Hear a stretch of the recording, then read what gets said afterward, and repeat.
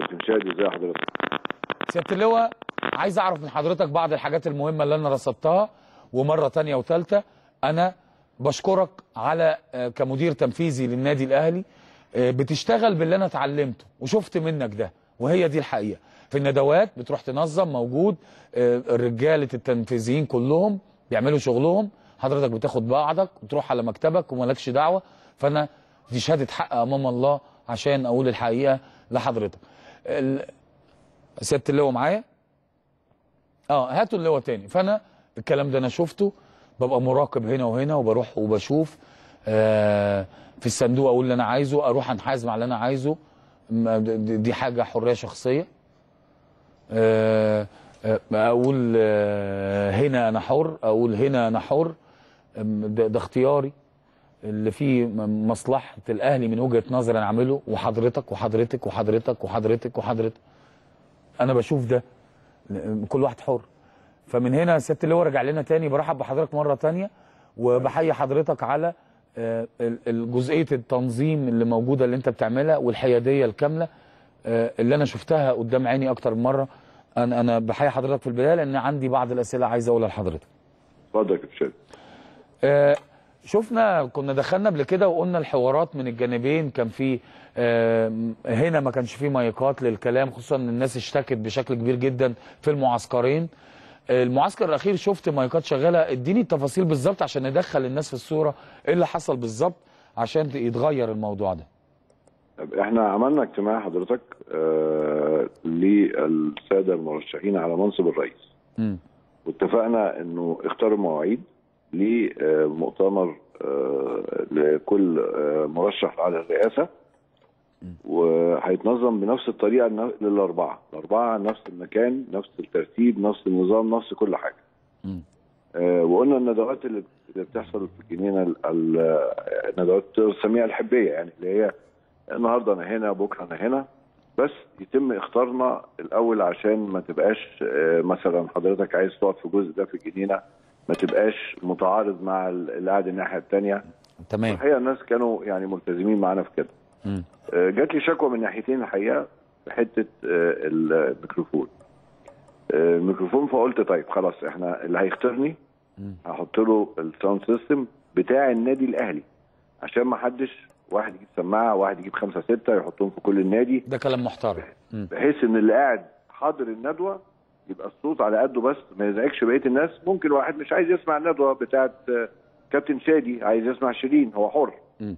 وبالتالي قلنا يبقى ال sound system بتاع النادي الأهلي وموظف النادي الأهلي في العلاقات العامة هو اللي يتولى هذا الموضوع وفعلا بقينا سواء في في الجزيرة أو في مدينة نصر أو في الشيخ زايد اللي بيخطرني بجهز له مكان وبجهز له ال sound system الخاص بيه بميكروفون وكل حاجة بحيث إنه الناس اللي هو قاعدين بيسمعوه يقدروا يسمعوه بسهولة ويسر. تمام. فده النظام إحنا عاملينه وماشيين عليه الحمد لله. آه، آه، سؤالين مهمين ومش عايز ادخل حضرتك في تفاصيل عشان نلتزم بالتعليمات على الأقل كمان اللي حضرتك كتبتها وقلتها والمفروض الجميع يلتزم بيها داخل النادي. آه، عايز أسأل حضرتك على نقطة مهمة بالنسبة لي. أنا كنت من شوية بعرض ان إن آه، أحد الصحف وكاتبة اللي حصل مشكلة كبيرة واقتحام للندوات والكلام ده، الكلام ده حصل يا فندم؟ يا فندم مفيش اقتحام للنادي وحضرتك كنت موجود والناس كانت موجودة مم. وحتى لما المجموعة آه، كانت الندوة أنا بس أصل أنت بتسألني وأنا ما بعرفش آه، أكمل كلام كانت الندوة بتاعة المهندس آه، محمود طاهر شغالة. آه، ال- المؤيدين ومجموعه الكابتن محمود الخطيب دخلوا آه، بيهتفوا للكابتن محمود وده حقهم طبعا 100% مم. آه، لكن كانت الندوة دي شغالة فباشمهندس الناس اللي قاعدين معاه ابتدوا يبصوا فقال لهم يعني نقعد نكمل ندوتنا.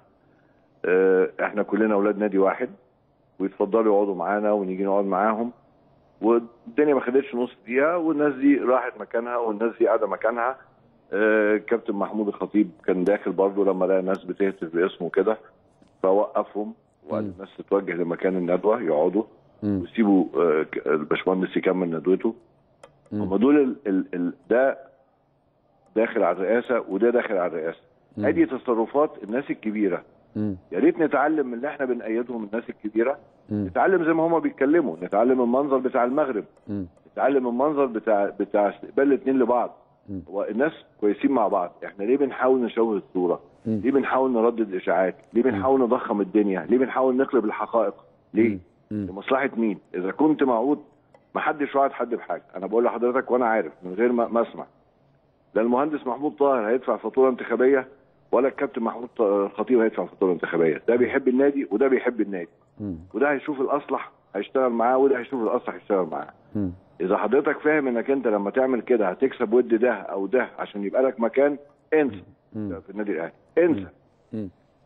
هتكذب هتبقى في نظره صغير ومش هيبقى مش حبك مش هيحبك.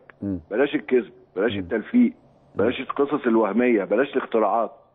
أنت في النادي الأهلي احترم المكان اللي أنت فيه. ما تلويش الحقائق. خليك محترم. أنا بتكلم عن الناس اللي بتكذب. عشان ما حدش يقول إن أنا بتكلم على حد معين. كلامي واضح؟ أنا مش واخده في اتجاه. لكن اللي بيكذب ويرمي حقائق هو عارف نفسه. مم. وفي الآخر هتلاقي نفسك بعد ما تخلص القصة دي حضرتك قاعد في الجنينة مش هتمسك حاجة. مم. مش هتمسك. أنا بقول لك أهو مش هيمسك. والله عندك حق. عارف ليه؟ لو جاي رئيس لأنه فقط لأنه فقط قيمته. فقط قيمته. بس خلاص آه. أنا أنا حضرتك أنا جاي رئيس مم. وشايف واحد بيكذب وكذاب وبيقول حقائق. هجيبه معايا إزاي؟ ما هو بكرة هيكذب عليا برضه. صح. بكره هيمثل عليا برضه. بكره هيروح الناحية الثانية برضه. لو لو في لو هو شايف إنه مصلحته هناك. أنا أنا شايف ناس هنا وهنا غريبة جدا. تصرفات غريبة جدا. مش مصدق والله إن أنا جوه النادي الأهلي. لا صدق فوق- صدق الناس اللي صدق فوق ناس محترمة جدا وبتتعامل بأدب وبالشياكه وبأناقة وبمبادئ النادي بتاعنا. طب خلاص بقى اتعلموا من الكبار بتوعكم بقى. اتعلموا الناس الكبيرة عندنا. ناس محترمة وبتتصرف برقي وشياكة. مم. اتعلموا منهم. وانتوا ما بتتعلموش منهم ليه؟ أنتوا بتأيدوهم. طب ما اتعلموا منهم بدل ما. وال- واللي يكتب أخبار مش عارف إيه. وللأسف بقى إن في بعض أخبار من الاخبار الكاذبه دي أنا بقول لحضرتك وأنا مش هقول أسامي دلوقتي طالعة من ناس جوه النادي الأهلي. للأسف. خبر مبعوث من ناس جوه النادي الأهلي. آه. مهم إيه الخبر؟ ومش مهم مش مهم في أنهي جريدة أنا ما بسميش خلاص. آه. لكن عيب خليك مؤدب شوية. عيب أنت اشتغلت جوه النادي الأهلي. عيب النادي الأهلي فتح لك بيتك. عيب أقول لك كده. مين يا سيادة اللواء؟ لا مش هقول يا كابتن سادي. بس هقول في الوقت المناسب. مم. هقول في الوقت المناسب. وأنا بقول لك يعني عيب. احترم النادي الأهلي اللي, اللي شغلك. احترم النادي الأهلي. احترم مبادئ النادي الأهلي. عيب يعني. عيب بقى. سيادة اللواء جالك خطابات آه، على إنذار على يد محضر النهارده واستلمته؟ أدي أدي خبر كاذب آخر. ادي خبر كاذب اخر. أنا ما استلمتش محاضر ولا جالي اختلاط. وموضوع التحكيم ده حضرتك ده كان آه، المستشار ياسر فتحي هو عارف اجراءاته القانونية. ويا ريت حضرتك مشكورا تعمل مداخلة معاه يقدر يشرح أحسن مني بكتير جدا. عشان الناس تسمع القصة بالكامل بتفاصيلها القانونية. من المستشار ياسر فتحي.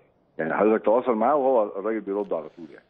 آه هيبقى هيبقى اتفضل. أقوى مني بكتير قوي في الشرح ده يعني. آه، سيادة اللواء حضرتك حابب تضيف أي حاجة تتكلم في أي حاجة تقول رسائل معينة؟ اتفضل. لا يا فندم هو إن شاء الله يوم الأحد هنعمل آه، بإذن الله اجتماع لجميع السادة المرشحين ال 36 مم. بحضور النيابة ال- الإدارية للاشراف القضائي والجهة الإدارية عشان هنقول للناس التعليمات يوم الانتخابات. وبعد إذن حضرتك أعضاء الس- الساده أعضاء النادي الأهلي. كارنيه أو بطاقه العضويه المسددين للاشتراكات 2017 هم فقط من لهم حق التصويت. مم. في واحد هيقول لي طيب أنا ما جددتش السنة دي بس أنا بقدر أخش النادي. أيوه حضرتك هتخش النادي بس مش هتخش الخيمة الانتخابية. تاني مش هتخش الخيمة الانتخابية. مم. عشان ما تعملش زحمة جوه. عشان حضرتك مش هتدلي بصوتك بدل مش في الكشف. مم. والكلام ده هيتمنع. فيا ريت نلتزم عشان يعني ما يبقاش فيه إن إحنا بنمنع حد يقول طيب ده منعني أو سيادة. اللواء أنا جات لي فكرة وحضرتك بتتكلم دلوقتي قبل الانتخابات مهم جدا حضرتك تبقى موجود معانا في حلقة تشرح التفاصيل عشان الناس تبقى عارفة هي رايحة تعمل إيه واللي ما جددش يبقى عارف هو هيبقى موجود في الخيمة ينتخب ولا كل التفاصيل الانتخابات تبقى معانا عشان نعمل توعية لجماهير آه، أو أعضاء الجمعية العمومية للنادي الأهلي بنستأذن حضرتك يعني لا قوي ده شرفنا يا فندم. سيادة اللواء شيرين شمس المدير التنفيذي للنادي الأهلي بشكر حضرتك شكرا جزيلا. وبشكر حضرتك أيضا على المجهود المبذول. وهتكلم نقطة كمان إيجابية حلوة جدا عجبتني لكن إيه رأي حضراتكم؟ الراجل ده